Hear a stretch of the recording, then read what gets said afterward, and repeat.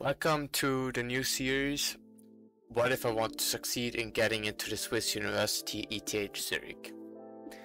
As it is growing in popularity, more and more people are interested in breaking into the field of computer science. Therefore, some people want to try their luck at the elite public university ETH in Zurich. If you're trying to make a career in cybersecurity, the masters at the university could also be worth to look into. As I am the author of this series, some information about me. I just finished high school and therefore I'm studying myself for the admission test. You can see the series like a friend sending you his notes. If your current study material is any different from my information, you can leave a comment below to let me know. Enough said about me. The university divides its admission into three sections.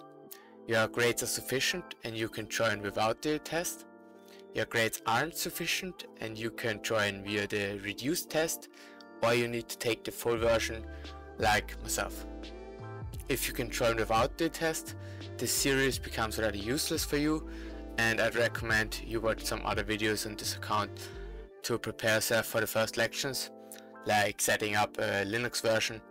I prefer Arch Linux on your virtual machine.